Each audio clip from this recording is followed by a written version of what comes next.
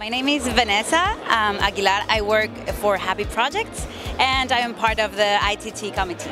The ITT is a group of people, uh, younger people below 40. Uh, basically, what we are trying to do is introduce the industry to younger generations.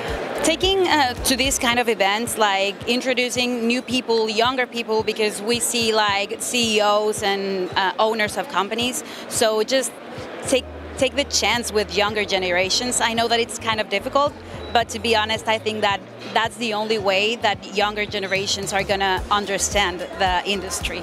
We know that this industry is kind of crazy, but I think that when you introduce, um, for example, I, I have um, talked about this with my friends, with my family, um, and they are so interested, but they don't fully understand what I do.